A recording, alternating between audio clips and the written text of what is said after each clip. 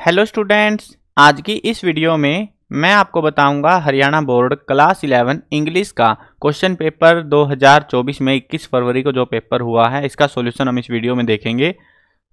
शुरू करते हैं वीडियो को। मैं हूँ अजय और आप देख रहे हैं सीसीएल चैप्टर लेकिन वीडियो शुरू करने से पहले आपको बता दूँ, अगर आपको हरियाणा बोर्ड क्लास इलेवंथ के लिए किसी भी सब्जेक्ट के इंपॉर्टेंट क्वेश्चन या मॉडल पेपर सॉल्यूशन की वीडियो देखनी है। डिस्क्रिप्शन में प्लेलिस्ट का लिंक मिल जाएगा, वहाँ से आप देख सकते हो। उसके अलावा आपको एक वेबसाइट बता देता हूँ गूगल पर जाकर सर्च कर लेना C C L chapter dot com इस वेबसाइट पर आपको इंपॉर्टेंट क्वेश्चन पुराने पेपर्स इंपॉर्टेंट जो है मॉडल पेपर्स विद आंसर की वगैरह सिलेबस मार्किंग स्कीम सब कुछ मिलेगा इस वेबसाइट पर देखने को तो विज़िट ज़रूर कर लेना।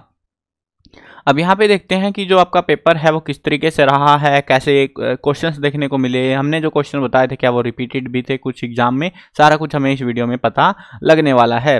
ओवरऑल मैं अपना रिव्यू भी दूँगा साथ में कि पेपर किस तरीके से था हार्ड था इजी था, कैसा पेपर था आपका ये। अब देखते हैं यहाँ पे जो पेपर था आपका, ये सीरीज़ नंबर थी, ये आपका कोड नंबर था छब्बीस ज़ीरो एक। अस्सी नंबर का जो है पेपर था।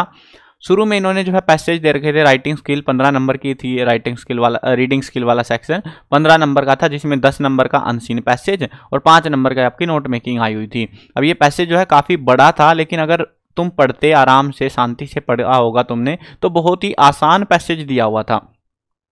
According to world world health organisation how many salt is recommended in one's daily diet तो वो कितना है? वो है हमारा पाँच gram five gram. Next question देखते हैं what is the average global salt consumption as mentioned in the passage तो एवरेज ग्लोबल कंजम्पशन कितनी है? दस पॉइंट आठ ग्राम। नेक्स्ट क्वेश्चन है what are the health consequences of excessive salt intake as mention in the passage तो क्या होता है? High blood pressure and heart diseases होती हैं। What is the relationship between high salt consumption and obesity तो क्या relation है? तो वो है हमारा यहाँ पे तो रिलेशन रहेगा high salt impair metabolism and promotes obesity मोटापे को बढ़ाता है मेटाबॉलिज्म को इफ़ेक्ट करता है।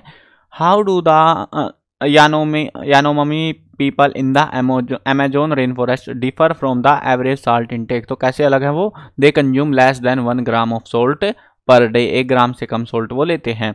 नेक्स्ट जो क्वेश्चन थे आपके पाँच तो थे एमसीक्यू पाँच जो है ऐसे क्वेश्चन थे और सारे जो क्वेश्चन थे इनके आंसर जो आपको पैसेज में मिल जाते हैं, आराम से कोई ज़्यादा दिक्कत नहीं हुई है। देखो what effect did reducing salt intake by five to eight gram daily have on systolic blood pressure in population studies तो क्या मिला हमको? ये पहरे में से ही सेंटेंस है, पूरा देख लेना अपना जो पेपर आपके पास में। Reducing salt intake by five to eight gram daily led to a four M M H G fall in the systolic blood pressure and reduction in the risk of cardiovascular diseases पूरी एक sentence है ये, और इसके अंदर ये पूरा जो आपको लिखना था। How much salt Indian man consume as per the recent report of national non communicable disease monitoring survey तो कितना है? 8.9 ग्राम, पहले ही पैसेज के, इस पैसेज के पहले सेक्शन से में था ये।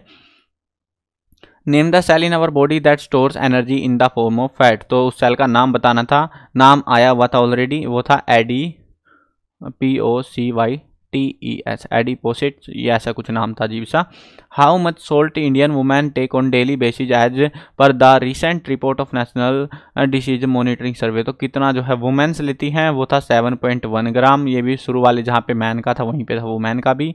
What are commonly notice disease that are caused by high salt intake तो वो क्या थी?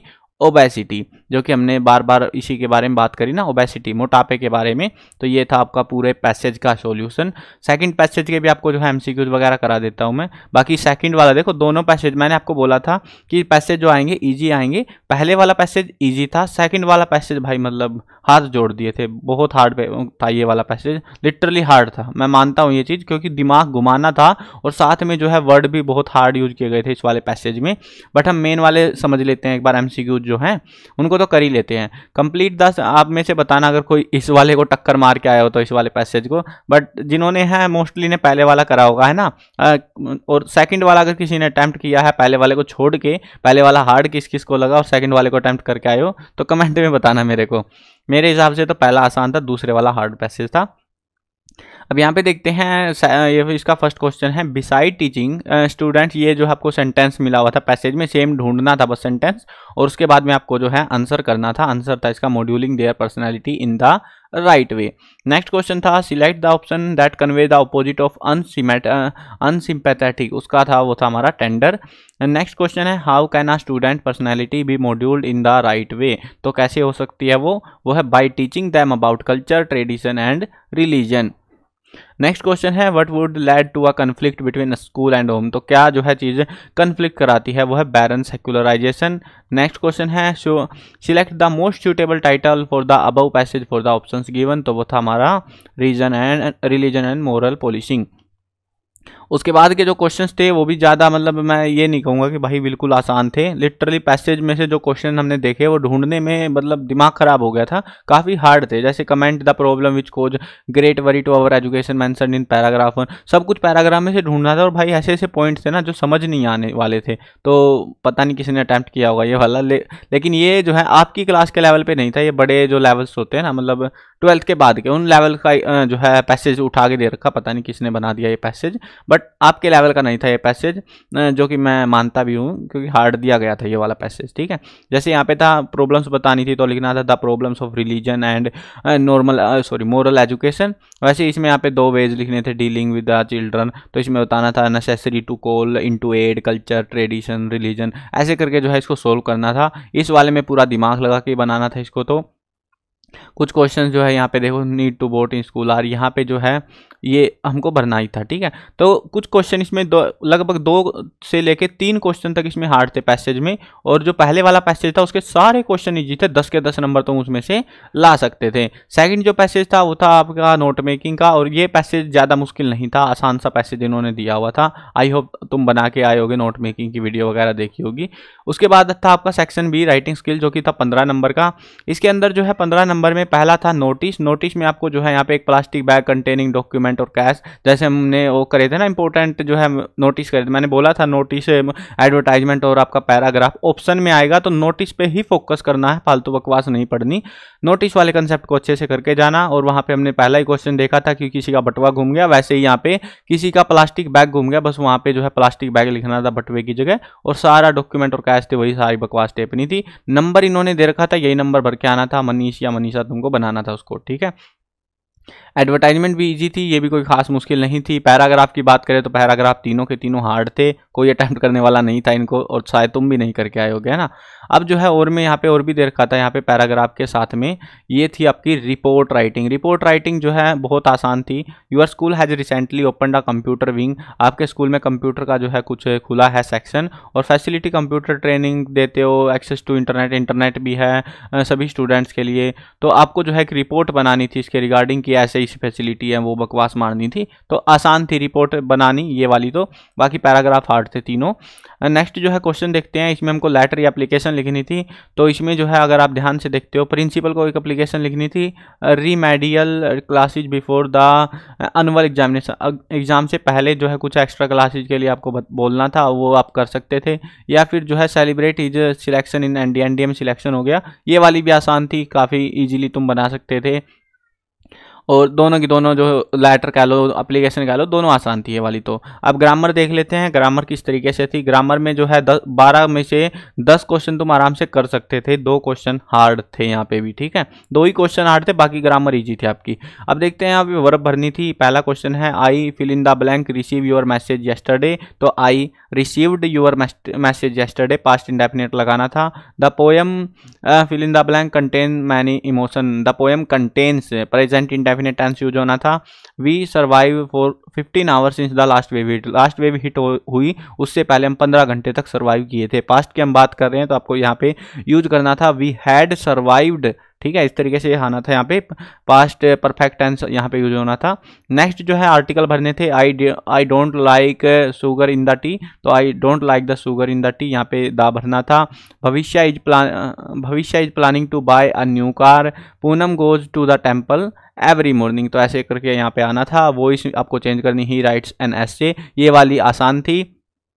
N S is written by him please do note ताकि ये थोड़ा सा कन्फ्यूजिंग सा था। इसकी आपको कन्वर्ट करके बतानी है कमेंट में, ठीक है कि इसका आंसर जो है किस किस को पता है किसने, वो इसके रूल्स पढ़े थे। इसका आंसर आपको कमेंट करना है, ठीक है? चलो, अब देखते हैं मोडाल्स मोडाल्स में यू ओब्लिगेशन के साथ था। ओब्लिगेशन नहीं भरना था यहाँ पे यहाँ पे मोडाल यूज़ करना था। तो you attend this seminar you must attend this seminar आना था। द आई के साथ में यहाँ पे आना था।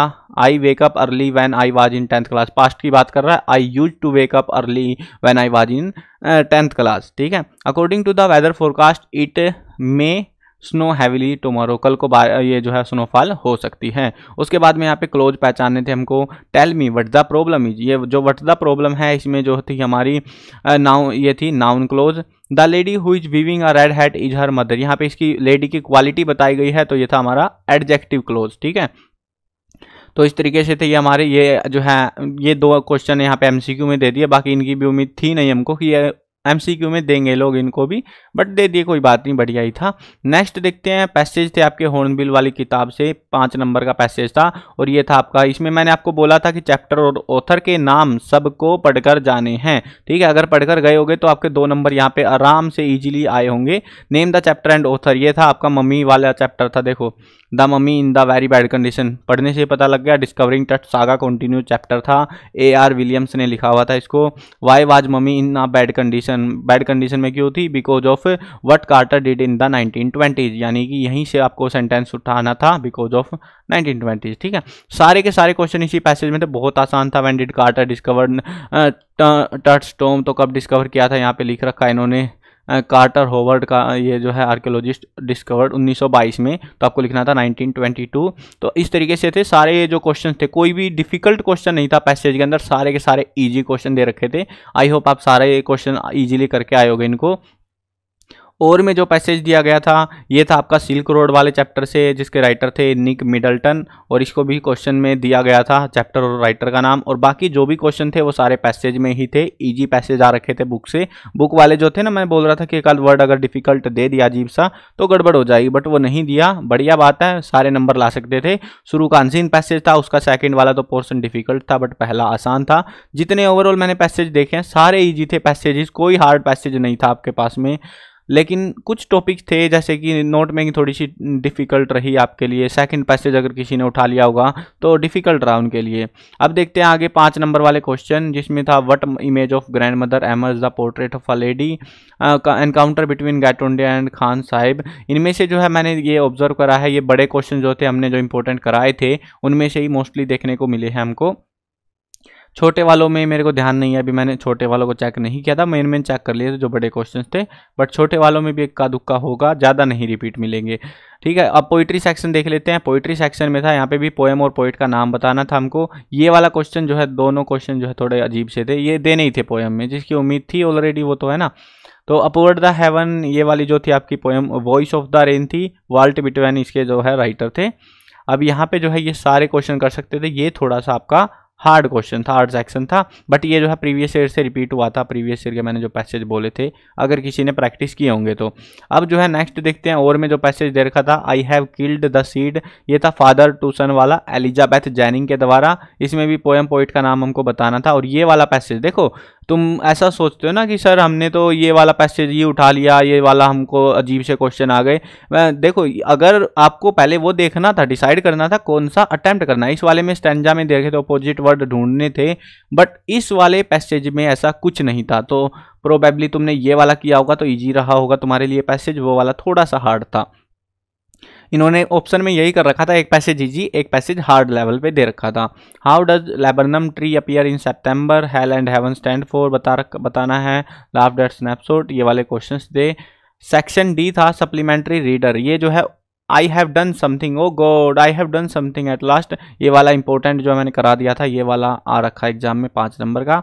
टेल ऑफ़ मैलन सिटी की समरी बतानी थी आपको यहाँ पे तो ओवरऑल और बाकी के जो क्वेश्चंस थे, ये कुछ इस तरीके से थे आपके। तो टोटल ये थे आपके जो कि पेपर था बट ओवर ओवरऑल मैं कहूँगा कि पेपर जो है आसान तो नहीं था, इतना जैसे हम सोचते हैं ना कि बिल्कुल इजी पेपर आएगा, वैसा तो नहीं था। एवरेज सा पेपर था हार्ड भी नहीं था ज़्यादा एवरेज सा पेपर था। मतलब अस्सी नंबर का पेपर था, तुम सत्तर के आसपास ला सकते थे अगर तुम ठीक से पढ़ के गए होगे, और ज़्यादा भी ला सकते थे अगर एक्स्ट्रा जो है, अगर तुमको इंग्लिश सही से आते बाकी चीज़ें भी। बट ठीक पेपर आया हुआ था, इतना हार्ड हार्ड भी नहीं था जैसा सुनने में आ रहा था कि इंग्लिश का पेपर ज़्यादा हार्ड दिया जा सकता है। हाँ नाइन्थ वालों का काफ़ी ईजी आया था बट आपका यार थोड़ा हार्ड आया है। और चांसेज है ट्वेल्थ वालों के भी हार्ड देखने को मिल सकता है इंग्लिश का पेपर तो। चलो आई होप समझ में आ गया होगा पेपर का जो है मेन मेन जो सॉल्यूशंस थे, जो कराने के थे, वो मैंने आपको करा दिए हैं। बाकी अगर कोई वीडियो बाद में देख रहा है तो सी चैप्टर डॉट कॉम पर ओल्ड क्वेश्चन पेपर सेक्शन में इन सारे पेपरों की पी डी एफ़ आपको मिल जाएगी डाउनलोड करने के लिए, अगर करनी हो तो। अब जो है, जो स्टूडेंट नया है, इस चैनल पर सब्सक्राइब कर लेना, क्योंकि बाकी सब्जेक्टों के इंपॉर्टेंट क्वेश्चन की वीडियो इस चैनल पर देखने को मिलेगी। कुछ सब्जेक्टों की, देखो, सारे सब्जेक्टों की नहीं आएगी, बता देता हूँ। कहीं तुम सोचो कि सर हमारी रह गई, उसकी रह गई। आपको एक सिंपल स्टेप बताता हूँ, आपको क्या करना है। ओल्ड क्वेश्चन पेपर ज़रूर करके जाने हैं, जितने आपको मिले। C chapter dot com website से कर लेना डाउनलोड वहाँ पे जितने हैं, इतने कहीं नहीं मिलेंगे आपको पेपर मैक्सिमम पेपर जितने अवेलेबल हम करा सकते थे, सारे करा रखे हैं। वहाँ से डाउनलोड कर लेना, वहाँ से प्रैक्टिस ज़रूर कर लेना, ठीक है? ताकि आपको जो है, अच्छी आपकी तैयारी हो सके। आई होप समझ में आ गया होगा। मिलते हैं नई वीडियो में। Bye bye